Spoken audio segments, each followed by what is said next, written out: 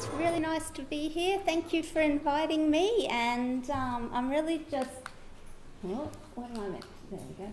And I'm really just um, testing out um, my idea for this larger project and presenting some uh, fairly still preliminary findings. So um, I'll be really interested in the feedback, and there'll be some bits where I haven't joined up all the dots yet. Um, so I'll, in a way, I'll be talking through my project idea and my um, methodology for a larger project using free-range eggs as my example. So the basic idea of the project is that um, consumers, growers, and governments are becoming increasingly concerned that the dominant industrial agri food system delivers cheap, plentiful, reliable food to Western consumers at too high a price in terms of social, ecological, and health impacts. Um, and so there's been a number of ways in which they try to point out these impacts of the way we've organised our um, food chains to, pr- to produce, process, store, transport, and retail food. And various social movements or alternative food politics are trying to change the values and power structures and um, technologies that are embedded or conventionalised in um, these long food chains uh, that we have. And the idea of the project is that in these um, food wars, as one set of authors have called them, uh, regulation and governance at both the global and the domestic level have inevitably become a huge issue of contention. So, alternative food movements are arguing for stronger government and intergovernmental regulation of the practices of industrial agri food all along the food chain. So, from things like banning battery cages um, to advertising junk food to children. They've also created new civil society regulation to support new niche markets for alternative food production, so organic, free range, and so on. Um, and then powerful players in the conventional agri food system have also responded um, by creating their own industry self regulatory accreditation and labelling um, schemes and by strategically contesting attempts um, to better regulate hot issues like genetic modification, pesticide use, food safety, wastage, and so on. Okay, so that's the big picture of the sort of phenomenon that I'm interested in. Um, and there's a tendency towards seeing consumer choice at the domestic level and perhaps free trade at the international levels as um, important ways to change this whole system. Um, and it's often put in terms of shortening the distance between the consumer and the producer. Um, in terms of the number of links in the food chain, so bringing me closer to the hen, um, or giving me as the consumer more knowledge about what goes on um, and sense of connection. So what? Um, so and regulation, um, trying to change this system is a big part of it. So what I'm trying to do um, with my project is a series of um, what I call radically inductive case studies of particular foods, um, primary products that raise issues of contention within the industrial agri food system. And with each one of them, I'm going to start with the consumer eyes view of that food and then trace back through the food chain how the regulatory pathways taken and not taken helped create the consumer choices that we see before us. Um, and how and what choices have been constructed for us to give us the chance to put these alternative values back into the food chain and change it. So, how have the social movement politics of alternative food used regulation to try and construct um, new choices for us and new pathways back through the food chain? And how have powerful industrial agri food players resisted or co opted or adapted to those attempts to change their values? Um, and specifically how they used regulation to do so. Um, or to put it more abstractly, how has regulation um, helped to shape and transform capitalism in response to social movement politics? Um, so, how is consumer choice in the market constructed by regulation? What other regulatory responses and pathways are being created, or could have been, or still are possible? And what difference does it make to values, interests, and power structures? Okay, so that's the um, sort of theoretical question that I'm coming at, and what I'm interested in to start with as my first case study is eggs and free range eggs. Um, and the issue that's had most airplay in the national media with free range eggs um, is how many hens per hectare should be allowed to count as free range. Um, I'll just say it's slightly different here in Canberra because there is, has been a stronger social movement here to ban cage eggs, and I'll come back to that um, at the end because Canberra has therefore used a regulatory pathway that's a bit different to the rest of Australia. Okay, but the contest at the moment is mainly a contest over one provision in the um, industry association's voluntary quality assurance system. So the Egg Corporation is the industry association. They have a quality assurance system that does all sorts of things, and what, but one part of it is that it says that if um, you can use a free range system, and a free range system um, is one um, that meets X definition. Um, their anim- the animal welfare part of the Egg Corporation's um, accreditation system is based on the government's model code of practice, which is not mandated, it, but it's there um, as a standard. And it currently says that 1,500 hens per hectare on an outdoor range um, constitutes free range, um, although the Egg Corp um, contests this and says that it's it, what it means is 1,500 hens per hectare if they don't move around, and it can there's no limit if they do move around to other paddocks. Um, and they're arguing that there should be an absolute maximum of 20,000 per hectare. Um, and I've given you on, oh no, I haven't because it didn't work. Sorry, I thought I'd moved on. I think I did it on there. Um, so they say um, that um, it needs to be 20,000 because the market share for free range eggs has um, moved from 8% to 25% since the 1500 was set. So that's their first argument. And their second argument is that, in fact, at the moment, 29% of free range egg production in Australia is stocked at densities higher than 20,000 per hectare. Um, and so they say that if they make it 20,000, then it will actually improve um, what's going on at the moment. Um, so, what you can see there by their arguments is that what they're trying to do is to frame um, hen welfare in terms purely of the number of hens per hectare, that's their biggest worry. Um, and as, as a matter of individual consumer choice, for those who want to be able to pay a little more, but not too much more, um, for the luxury of happy hens in their supermarket. Um, so, this is my argument about what's going on there.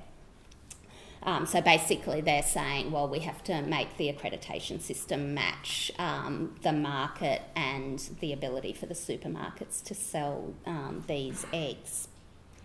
But this is just one small issue raised by consumer choice, raised by um, animal welfare activists about hen welfare and free range eggs. So I've actually got a handout here that summarises this in more detail. I'm sure I don't have enough, but um, you can have a look. And I've done this so that if people are interested in a personal basis on knowing what they're buying, they, there's also some information there that will help you. Um, so, if we look more broadly, at the moment the issue's about how many hens per hectare outside, but actually, um, if you look at what the free range farmers movement is worried about, or um, animal welfare activists, um, there's of course also the issue of how many hens inside, um, not just outside. Um, there's the issue of beak trimming, which is that they chop the tip of their beaks or more off very early so that they won't um, peck each other. Um, and if you've got a lot crowded in, then that's a big problem. But free range, um, smaller scale free range farmers say that if they're outside and happy, they won't be pecking each other either.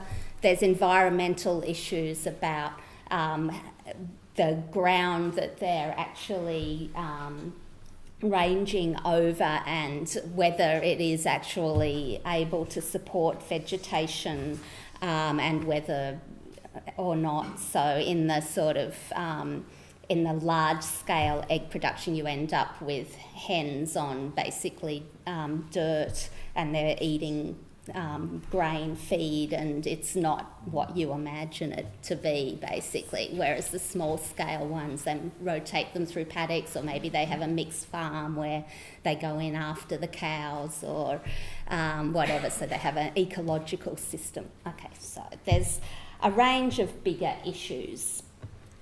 Um, with um, animal welfare and what free range means.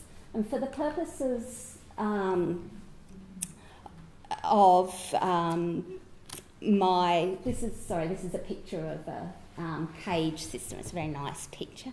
Um, uh, for the purposes of my uh, project, I'm arguing that there's really three kinds of bigger issues that uh, the social movement of alternative food is raising with industrial agri-food um, system, and I think these are all raised by the um, issue of cage hens and free-range hens. Um, so this is a picture of the traditional sort of cage. This is by one of the manufacturers of the barn system. So this is what they want you to believe. Um, and with the ones that have like 20,000 hens per hectare and call them free range, what they do is they basically take out the cage part of that and they have ramps and things, and then they have some pop holes down the bottom so that notionally the chickens can get outside to the range. Um, but in fact, um, most of them won't go outside because they can't find their way or they're too scared to go past the other hens um, or it's not attractive enough out on the range anyway because it's all been um, eaten out.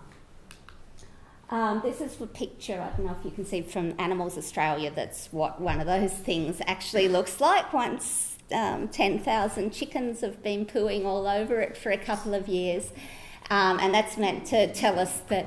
Um, so one of the issues is agroecological. So if you think about layer um, intense factory farming of eggs, um, then it's not just about whether the hen has enough room to move. That's an important issue, but it's also about the ecological burden of industrial agri-food and things like what do you do with all these um, feces from the chickens is a huge issue. Um, and uh, part of the idea of free range is that you might come up with a more holistic agroecological system. Another issue um, with um, the industrial agri-food system is um, public health issues. Um, so a lot of the contest over the industrial agri-food system is about um, as you probably know, the overproduction of over-processed, energy-dense but nutritionally poor food at, at cheap prices, um, as opposed to kind of real food eaten in a physically healthy and socially, culturally, and relationally meaningful way. So what we get, um, you can see that illustrated here with chickens as well. We get um, eggs that are wider than wide have come from hens that may have been fed antibiotics and so on that are basically unhealthy, um, and we're eating the egg that comes out. the end of that, um, there's uh, things like we're running the risk of, at a public health level, of um, creating new viruses and so on, like avian flu, um, and perhaps we're also producing um, eggs um, that include uh, that aren't as nutritionally healthy as, as they might be. Um, and my third issue um, is uh, the justice issue. So, at a general level with industrial agri-food, the issue then is that the industrial agri-food system, um, the alternative food politics people say, is systemically unjust in the way it shares out the benefits of, and risks of where, what, and how food is grown, produced, transported, distributed, accessed, and eaten. So the burdens of the ecological degradation and um, the benefits of access to healthy, meaningful, affordable food aren't aren't shared out evenly. Um, so you know we create the billion hungry and the billion obese, the land grabbers and the smallholders. Um, those who live near the farms at the edge of cities who suffer pesticide drift and smells and whatever, and those of us who live in the inner city and go to the Queen Victoria markets or what every day. Um, in the egg situation, um, so these are some hens that I visited that are very happy they're getting a lot of justice, and that's a pile of several thousand day old male chicks who are going to get um, minced up and used as pet food or stock or something. So that's one of the little injustices um, in the system. We might also um, think about the way um, one of the big issues at the moment um, for us in Australia is the supermarket duopoly and the way that that's created a system where we have large scale producers um, who have access to the national market um, and small scale farmers who have to, well, who may, who don't have access to that market and whose argue that they're suffering um, injustice, that they don't have easy access to a retail market. Um, and again, free range farming is one way to try and create an alternate um, way of for a small scale producer to get to a consumer.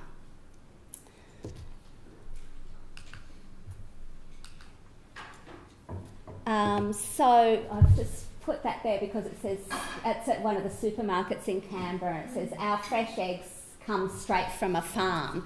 So as you can see, what they're trying to do is they're trying to tell you that you're very connected to the source of your food as a consumer, despite the fact that there's actually quite a few links in the chain between buying a carton of eggs at a supermarket and the hen and the that produce the egg and whatever, however, the sun and the earth that produce their feed. There's probably even a few steps between those, the hen and the, the actual environment. Um, so, alternative um, social movements around food use these agroecological public health and justice um, values as a basis for trying to contest, unsettle, and then reconnect the, the chain in industrial agri food um, using different values and privileging different players. So, my research project sees the debate about the Egg Corporation standard um, and the various competing voluntary accreditation systems, which um, you saw briefly on that PowerPoint slide, um, as an indication of a bigger um, contest over the whole approach to creating the food chain between the hen and the consumer um, and it assumes that in order to have a food chain in the first place or to create a new one, you need to use some kind of regulation, formal or informal, such as voluntary accreditation systems. Um, and I'm going, I won't talk much about theory, but as I write it up, I'll be able to draw on different theoretical literatures to talk about that. So we might put it in terms of rationalities of governance or orders of worth um, or um, actor network theory. Um, so I'll just mention that for the moment. But the kind of um, questions that we might ask then is we might look at well, how are they using um, regulation to create a new food chain or to unsettle the existing one? Um, and how do they construct what value it is um, how that they're trying to achieve? Do they see it as a public good, like the alternative um, food politics see it, um, those public goods, or do they see it as an individual good, consumer choice to have the luxury of being ethical? Who decides what the standards are?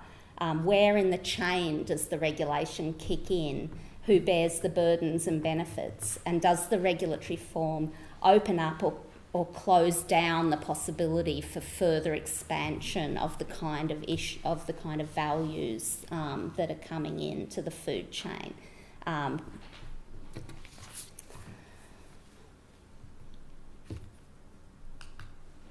okay, so what um, we did with our research um, is try to uncover the chain between the consumer and producer. So um, we looked at the retail, um, how eggs are retailed, and then tried to trace back from that. We looked for, you know, whether they had claims about being free range or whatever, and then try to trace back from that what regulation has helped to support those claims.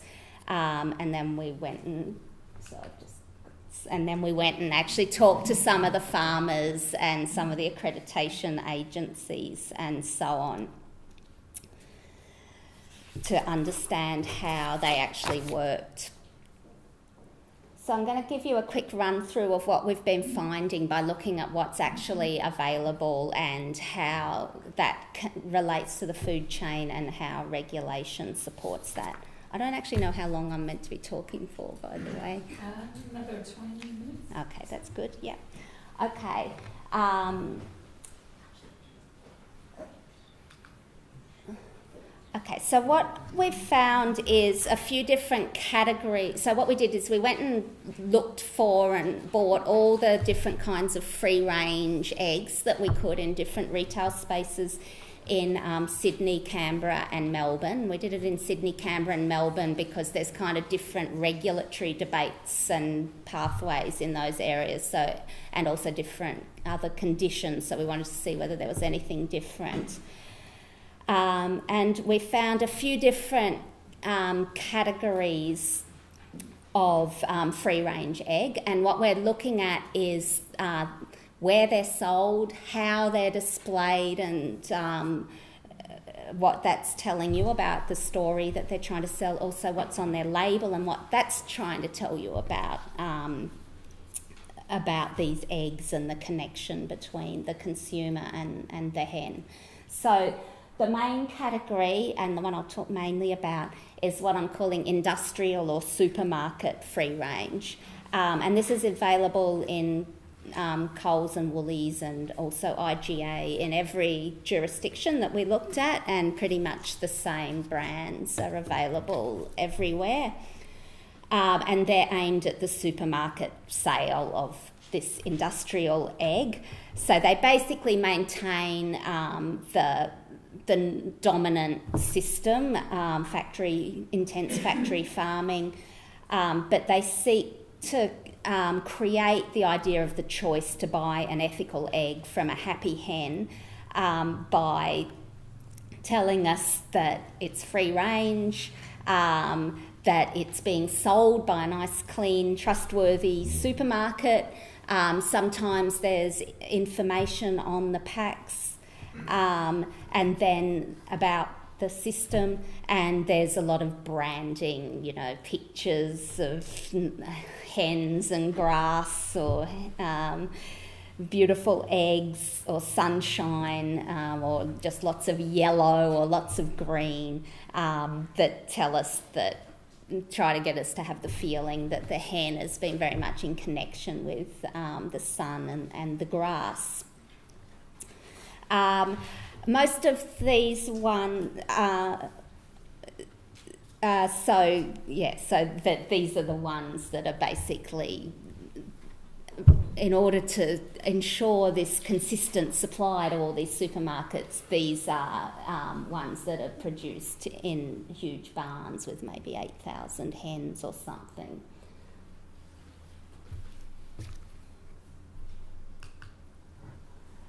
Um, okay, so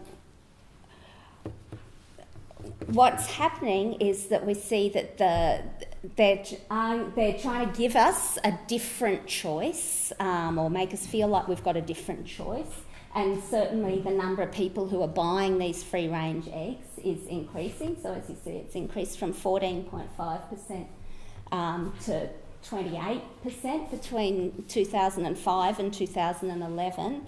Um, and interestingly, the shelf space um, is even larger. So we have 28% of eggs that are sold are free range, but 50% of the shelf space um, is free range.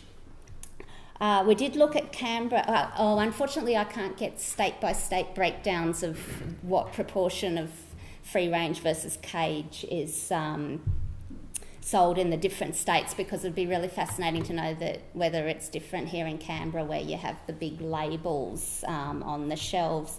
But it is, I thought that maybe that would mean there'd be more free range and less cage as a proportion on the Canberra shelves, but there wasn't. It's still the same 50%.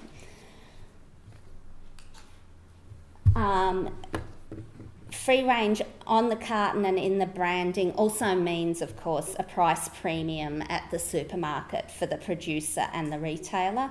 Um, so people are eating more eggs lately, the last 10 years or so, and they have been quite profitable in general. Um, but there's been quite large costs in the last five or six years as well because um, the cost of feed went up, presumably because of the drought. Um, supermarkets, as you know, are trying to keep prices very low. Um, and there were also new cage requirements introduced a few years ago. So the cages have to be bigger, which means that producers had to in, um, invest in new um, barn systems. So you can see that the option of putting in place a barn system that they can call free range and get a limited a price premium but a limited price premium through the supermarket would be very attractive in that context.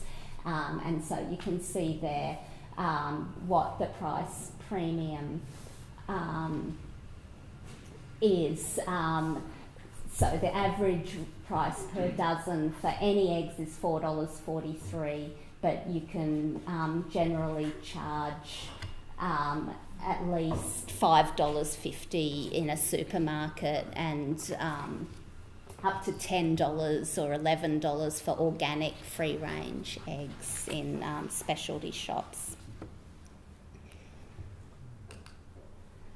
Um, free range also means that cage eggs aren't brand aren't banned though of course. The need to brand something as free range means that the alternative the um, movement to completely ban cage eggs um, hasn't yet succeeded. So um, that's uh, that's uh, part of the system that you have a choice um, it's not that we've decided to regulate back on the farm. We're giving the consumer the ability to regulate right at the other end of the chain. Okay, and then most of these supermarket free range eggs are Egg Corp accredited. So and it's interesting that if you look on them, you won't actually necessarily even see a little logo saying they're Egg Corp accredited because what is happening is the supermarket is saying they could should be Egg Corp accredited, um, and not they're saying to the consumer, trust us that these are free range if we're selling them as free range. But this whole debate about stocking densities is because uh, partly because the supermarkets have then said, okay um, we need to be able to sell more more free range eggs at a cheap price. Uh, so the Egg Corp is responding to that. Um, and the Egg Corp is also beginning to realise that consumers themselves are worrying about it, so they want to be able to put something on the cartons and explain it um, to consumers. And so they're starting to look at having a marketing strategy that isn't just aimed at the supermarket as the regulator, but at the consumer as the regulator. So that's the industrial free range. And then we also found some other options um, not available in the supermarkets. So there's what I'm calling true in inverted commas free range or accredited free range, and this is basically only available in Melbourne at farmers markets and boutique stores. These are brands um, that rely very heavily on plain packaging, perhaps with accurate looking photos rather than sort of professionally produced photos of happy hens. um, or hand drawn storybook type images. They don't look too professional. Our interviews with farmers said often they purposely don't look professional, so they might actually encourage themselves to put the labels on skew if or something. Um, and these are accredited by the Free Range Farmers Association or Humane Choice, um, which have quite much stricter standards, as you can see by the handout. Um, they're sold a lot at farmers markets and other specialty stores, often, especially at the farmers markets. Um, they will have like a poster board out the front of the stall that gives a lot of information about the system and might also include activism against cage eggs or supermarket free range or other um, people who are selling free range eggs. Um, and so they use that to explain their trustworthiness to customers and to justify the price premium. Um, but you also wonder whether this accreditation is really necessary because if they're being sold at farmers markets and so on, then it's the producer there that the consumer can ask anyway. So, why do they need an accreditation system? And in fact, that's why it's been interesting.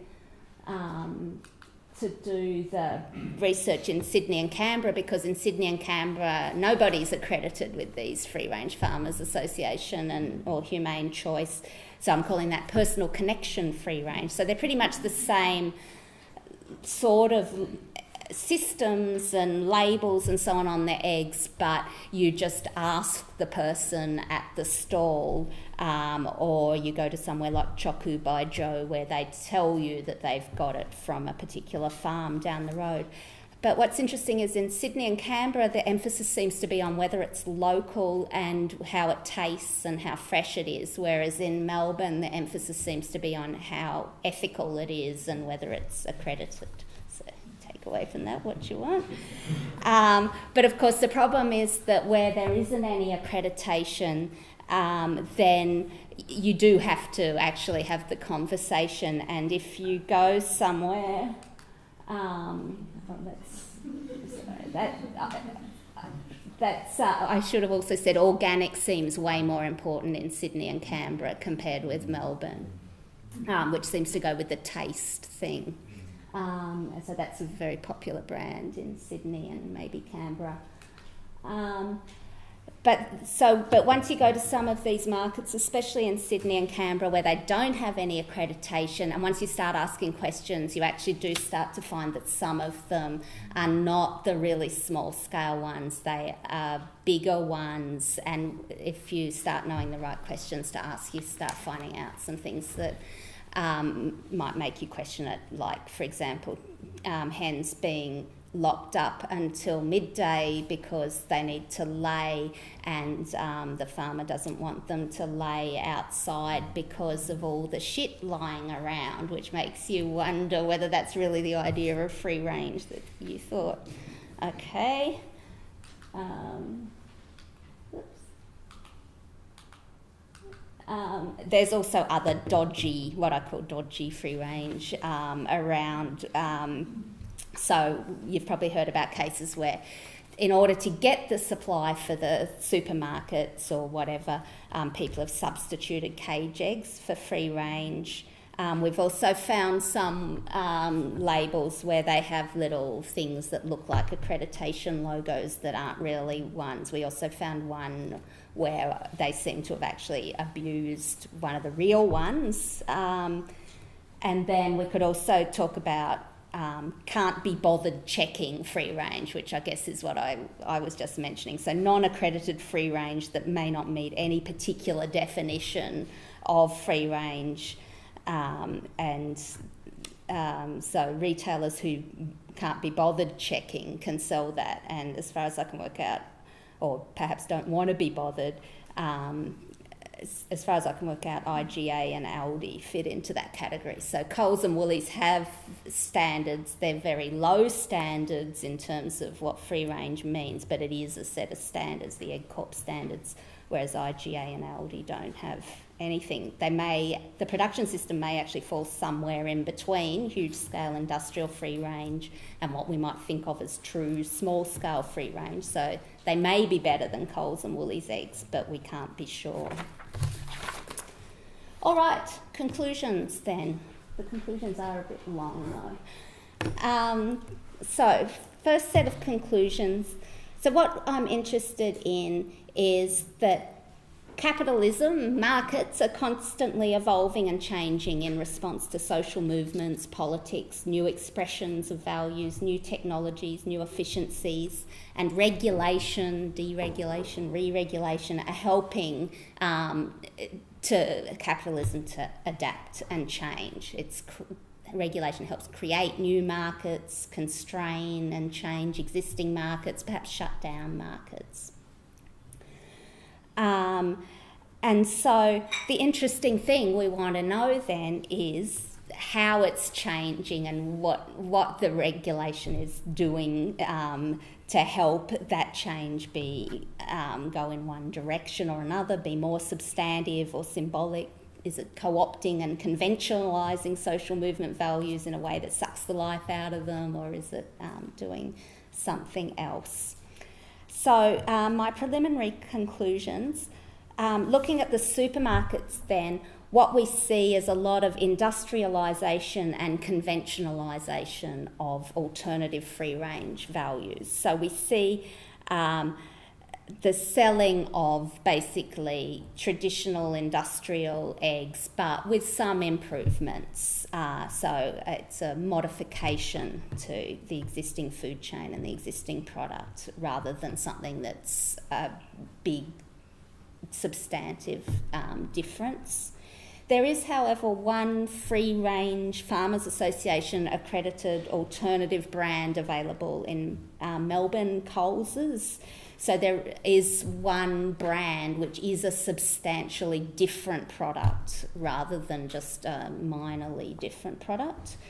Um, and um, in line with what I said before, in um, Sydney and Canberra, there are some organic brands that seem to be may be substantially different, although um, they're Sunny Queen and Pace, which are two of the big producers. I forgot to tell you that um, egg production is dominated by three big producers in Australia, who have about half the market.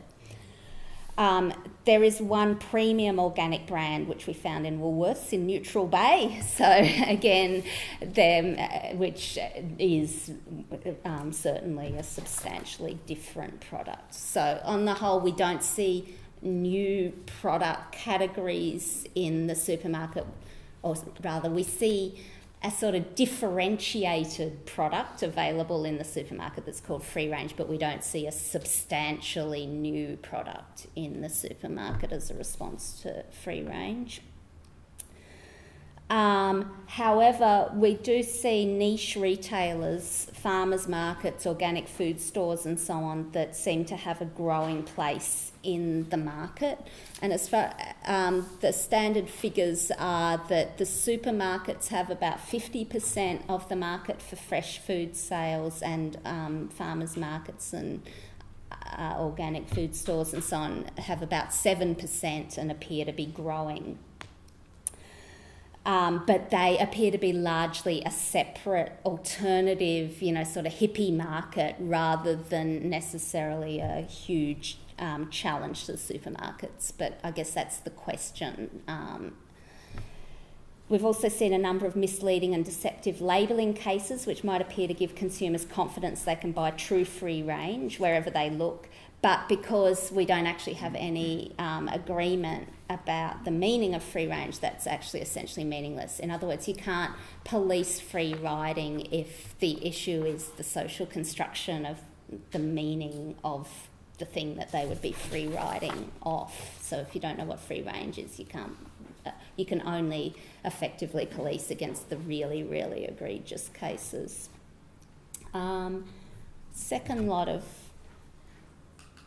so that was conclusions about what's changing in the market, and then, of course, the interesting question for us um, what regulatory, so I've given you a bit of a flavour of some of the regulatory paths that have um, supported those things that have changed. And then the interesting thing is what regulatory paths have not yet been taken but may have been possible or may still be possible.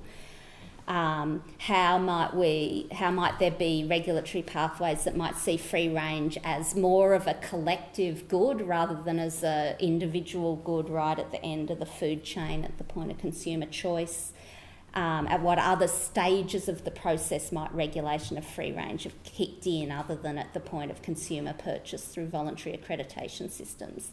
And some of the things that we might have thought about would be some kind of regulation or incentivisation of environmental sustainability or health of the farms um, that might um, force producers out of intensive factory farming altogether. But of course, there's also the alternative that they'll just come up with more technological solutions to deal with things like disposing of all the um, fecal matter and so on um, the regulation of on-farm welfare practices. So far in Australia, we've only got a, this model code of practice. It's not mandatory. Um, we've got very minimal regulation of cages. Um, but egg producers are well aware that there's a ban on battery cages in the EU and increasingly in the US, and that that may well come here. Um, and a lot of this debate about free range and voluntary accreditation systems is to take attention away, I think, from the possibility that we might regulate on farm welfare practices better. Another issue is competition policy and supermarkets. Um, which might, if we if we took a different pathway that had prevented Coles and Woolies becoming the behemoth duopoly, making their choice being the ones essentially regulating what free range really means for most people, um, then we might have opened up retail pathways that gave consumers different choices and also gave smaller farmers um, more choices.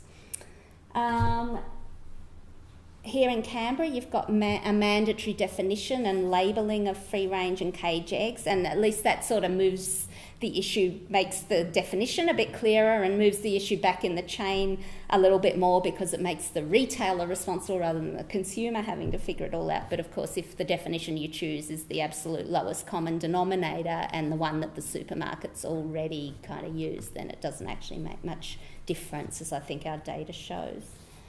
Um, and then, the, finally, the last two is um, sometimes um, what a social movement might want is actually decommodification, so taking something out of the market altogether. And of course, we've had a big backyard chook movement these days, um, and the even more demodified decommodified option, as um, one of the Greens senator in New South Wales said when I went to the forum on free range. He said, "Well, of course, we could all become vegan," and then handed out the vegan cupcakes.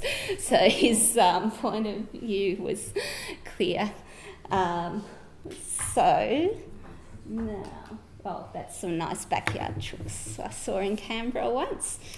Um, so, some of you might have read Julie Guthman's book Agrarian Dreams about how the organic movement in California was co opted and conventionalized be- by becoming an industry and seeking accreditation standards and um, regulation. And she argued that this actually de radicalised the hippie organic movement and set back agroecological values in farming in California by breaking down the social movement that could have kept on providing a continued critique of the dominant system. So, I guess the questions that this leaves for me with free range eggs is whether these alternative markets that we've got, these free range, uh, these farmers markets that give the small scale farmers um, a pathway to the consumer, whether these are strong enough to provide a continued critique of supermarket free range so that there might be continued um, incremental improvement, or whether the supermarket duopoly is so powerful that they'll fail eventually. Um, and with what other regulation at what other points along the food chain might um, might also help support um, further change. Um, and then, of course, the Egg Corporation are very worried about the possibility of imported eggs. Um, and this might be a beat up Um, but on on the other hand, um, you can understand with all the panic about um, World Trade Organization rules and so on that there might be a real fear that in the long run, um, the restrictions that we have now that don't allow eggs to be imported may be broken down at some point under the pressure of the need for the industrial agri-food system to provide cheap eggs, um, and that may come in and um, create a, a, different situation. Okay, I know I've talked for way too long.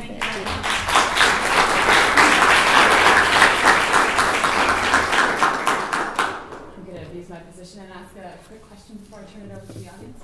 Um, just because I, I know you focused on Australia, but you mentioned the EU having a ban on um, cage hens. Battery cages. Battery cage hens. So um, my question is because um, the proliferation of certification and labeling schemes is a real problem in a lot of areas like forest um, products and things like that. Is there any jurisdiction that you know of? Like, does the EU have a like a one system, one definition, or do they have the same problem with free range having? I'm not sure. I want to find out. I think they've got a definition, but I'm not sure. Yeah. But yeah, what they've done is they've banned battery cages, um, but they allow enriched cages. So just to be clear, yeah. Here. Uh, My question um, relates to um, the potential uh, regressively redistributive impact of, of regulation. And you touched on this briefly at the, at the very, very end of your talk. Uh, I'm bewildered at, at how a system can be introduced that pays me a subsidy for uh, uh, uh, installing solar collectors on my roof. And the average punter has to pay, you know, twice as much for his, or her electric power as, as they did before. That's, that's, that- that's troubling to me. And, um, and one of the issues here, of course, is making a, a, a good source of protein available to the battlers. Uh, And, and uh, the- the question is, what, what type of regulation will accommodate their needs as well as the, the wider uh, uh, values that we've been talking about? Yeah, well, that's really the whole debate about industrial agri-food that supposedly it provides cheap food, reliable, cheap, safe, consistent food available um, to everybody, and so that's what it says its value is, and these alternative ones then. Uh, um, uh, potentially putting that at, at risk by saying, well, you have to pay more for um, quality um, eggs. And I think that's a, a bit of a conundrum still that, you know, really we're paying. The argument is, of course, that we're paying the price for those cheap prices in the long run. Um, that um, intense factory farming is ruining the. It's not just about the happiness of the hen. It's about the fact that this is ruining the environment. Um, if yeah, one of the real fears is that if China has all huge numbers of factory farms doing layer hens. Um, that's where this avian influenza grew, and it's really putting people at risk. So, yeah, the price isn't worth it. Um, there's also an interesting argument that I read. It's a bit polemic, but they're basically saying that um, chicken egg farming is one thing that you really don't need to do that way. It really is sustainable and economic to be done on a very small scale and in with backyard chooks and just really very small scale farms all over the place, and that um, people could then people could afford um, eggs. It's just that we don't have the number of um, small scale farms that we should have. And certainly, everybody I interviewed, um, all the the farms that we went to, I haven't been to heaps yet, but they're definitely not worried about comp- they're not using these accreditation standards to sort of cut out competition because they've got way bigger markets than they can possibly deal with. So there's clearly heaps more space for there to be heaps more small scale, true free range farms than there is at the moment, which suggests that there might also be space for the price to go down if there was more. That raises the, the issue of context-specific trade-offs. I mean, um, look, for example, in Norway, where uh, I imagine most people are able to afford uh, uh, uh, eggs that are sustainably and more humanely produced. Look, for example, in Hong Kong, where the idea of backyard uh, farming is, is uh, uh, Yeah, that's true. Yeah, that's true. horses for courses. Yeah. Any questions? Just a, a follow-up on that, uh, the issue of the small-scale farming. Uh, are there constraints on regulating the small-scale producer? I don't know. That's one of the things that I want to look at is, um, yeah, so I'm just beginning. So, what I want to do is I want to sort of then trace back, well, there could be different pathways. Why is it that we don't have more small scale retailers um, or more small scale farmers and retail spaces for them? Um, and to what extent is that about the retail spaces, or to why, or to what extent is it about whatever limits there are, including regulatory problems with setting up um, small scale farms. So I don't know. Go ahead. Yeah. Yeah, Thanks, Christina. I wondered in terms of regulatory solutions, um, well, as I was listening to you, I thought of uh, the paper by Akerlof, uh, the economist who wrote this very famous paper called The Market in Lemons, which is this idea that under conditions of asymmetry where the uh, seller knows much more than the buyer, uh, the seller can basically put stuff onto the market that will ultimately see good products being driven out of the market because consumer confusion sets in and all sorts of other things happen. And one of Akerlof's solutions to that problem was the brand, the trademark, truth in labelling. Yeah. But it seems to me that since Akerlof wrote that paper, I mean it's an old paper back in the 1960s now, what we actually see happening in the marketplace is this huge pro- proliferation around brands. And so the asymmetry, as it were, continues. Yeah. So, and, and this is a sort of problem not just in this area, but you know, right across the board in certification movements now we see that. Um, Yeah. So one solution which has been attempted, and I'm not sure whether it's working or not, is this rise of meta regulation in certification. So ISEAL, for example, Yeah. is an attempt to, Yeah. as it were, set standards for good certification. And that's a sort of way, as it were, of dealing with Yeah. with the re-implementing Akerlof's uh, solution. And one can imagine more extreme cases if governments really wanted to introduce truth in labelling. I mean, the most obvious example is that you would affect the rights of trademark owners or, or those with ownership rights over labels um, if they weren't committed to truth in advertising. So you could have a meta regulator, as it were, Mm. setting minimum standards. You could only compete above that standard, you could never go below it.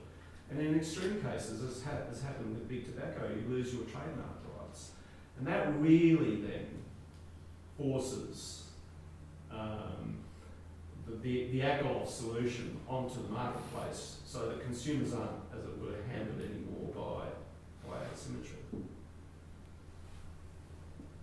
Yeah, well, that's a comment, I guess. I don't see, um, it hasn't, I haven't seen it happening, although this, the Humane Choice label, uh, accreditation, that's actually, there's an international society, so that seems to be trying to do a bit of that for animal welfare um, labelling. They seem to be trying to get some kind of consistent minimum standard for accreditations.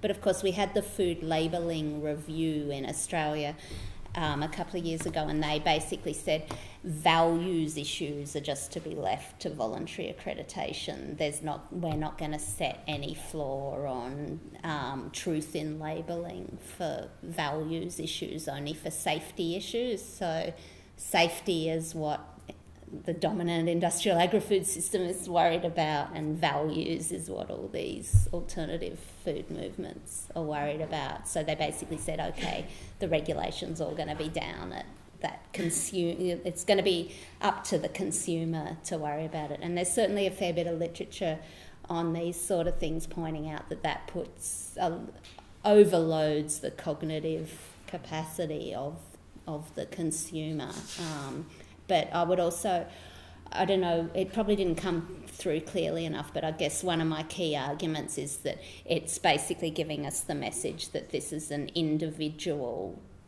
good that we're buying, that the regulation is creating an individual good that an individual can choose to pay the premium for, whereas some of the other alternatives might have said, oh, this is actually a public good that um, implicates bigger value issues, um, and so that would suggest different um, regulatory solutions, I think. Yeah. That's really the point that I, I wanted to bring out, that I found really interesting in your conclusion about the path regulation might be able to take, is sort of putting it as a collective path rather than individual. Yeah. I guess I'm, I'm curious as to whether there are, you know, of any other examples in regulation where that, that has occurred. I mean, sort of with, and it seems that, um, and it's interesting in, in the case that you were looking at, that even at the, um, at the level of the Free Range Farmers Association, you know, we could see bodies happening, I guess some, uh, uh, from examples you showed at the farmers market, some would be, you know, talking about whether it's better for you individually Yeah. health to, you know, to buy my product, or it's better for the environment if you buy my product and so on, so it's possibly, Yeah. which is not obviously a bad thing, but if both happening, it's the larger ones, it's clearly more the individual. Well, I didn't sort of tell. I mean, yeah, there's a whole story about that. The, the free the free range farmers people that I spoke to, they basically put it as they were just they were constructing an alternative market, but they weren't challenging the dominant market. Um, so they were basically saying it's an individual choice, although, as you say, some of them would see it more at, in terms of ecological values, which suggests more of a public good than a purely individual choice to buy eggs from happy hens. Um, whereas um, the animal activist organisation, so RSPCA um, to some extent, and um, Animals Australia, they've got quite strong campaigns to ban um, cages or at least battery cages, and they see the movement to buy free range as a, a boycott or boycott to support the ban on cage, whereas the Free Range Farmers Association doesn't really see it that way. Um, and I think it's correct too that the organic associations, as Julie Guthman says, um, they're not necessarily really arguing strongly for changing the whole system. They're also just creating an alternative. So, yeah, it's that's the worry then that they just say, okay, well, we're happy to create this niche market rather than um, look for improvements in the whole system. Well, one last question. Okay. Did you talk to the uh, biological farmers Australia, the BFA? I haven't yet. I'm go. I've got an appointment with them. I think Yeah, it'd be good to have a talk to them because they're expanding very fast. yeah, And uh,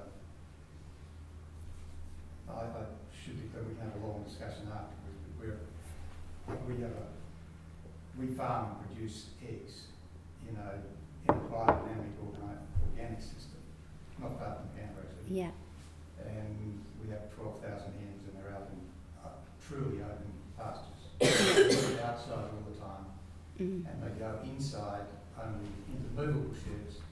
Uh, there's no bottoms in the sheds. Uh, the sheds are moved once or twice a week. So the eggs, the chooks are free to go in and out as they like. They roam over big, big paddocks. They, they might go three, three hundred metres, four hundred Yeah. metres away from the sheds. And they go in and inside the sheds, there's only the roosts and the lay, and the lay boxes. All the feed, even Is- the introduced feed, is outside. yeah, So it's a true open range system. And we've got biodynamic pastures, so we've got very good pastures as well. Um, and we can't produce enough eggs and they sell up to, I've seen them in Sydney selling for over fifteen dollars a dozen, and we cannot produce them. Um, the interesting point is that, because I think it's a, it's really a labelling issue, I could talk to you a lot about the supermarket issue as well, because I've been involved with retail as well. And, but it's, um, um, what we found was that information that's on, a, on that has to be the nutrition information on the side of an egg carton is based on the food that goes into the chook. It's not based on, on the egg itself because it's reliable enough because Mm. the only food that the chook gets is the prepared uh, uh, prepared food based on grain. Um, in our case, we don't know what the what the chicken is eating because they're roaming all day. They're eating bugs, and you wouldn't want to be a grasshopper or a chook back in our place. And so, uh, but so therefore we had the eggs themselves tested, and when we had the eggs tested, we found that the omega threes in the eggs are over four times what they are in conventional eggs Oh, that's interesting. and more than double what they are in organic, in other brands of organic eggs, so-called organic. Um, and so no wonder we can get the high price. But we have to get the high price because it costs more to produce them. And I can't, so going back to the, to the major issue, I can't see how the supermarkets can really ever produce eggs of that sort of quality because you cannot take that much land up in Australia moving chooks around over land.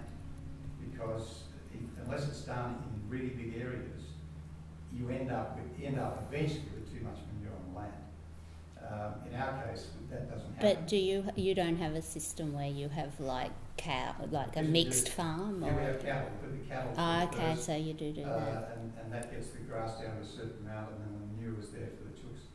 Uh, we still can put the cattle through when the chooks are in there, it's not a problem at all. But that um, doesn't As long as we take off the sheds, because they'll rub themselves against the shed. Um, and, uh, we're now looking at introducing pigs as well, uh, pigs first, and then and then, then, the- then, uh, then the crop, then the chickens, etc. in a rotating system. It can be done, and mm. I've seen Sunny Queen in Queensland, I know how they do theirs, and I actually, they do it in quite a good way. Do you have trees in the free range? We do, we don't have enough trees because of the particular country we're on. It just happens to be very open country. So you we have to create enough shelter for them, You think trees are important? very important. So long as they're not trees that they're gonna roost in or get under and wanna lay eggs under. So it's a bit of a, it's a tricky one. But And that, that could be a criticism of that model, that there's not a tree planted in the middle of that, that backyard. Mm. oh well they're other they're things. It's- under It's an important big tree, question, but yeah. and, uh, but I see the, the truth in the labelling as being the key thing.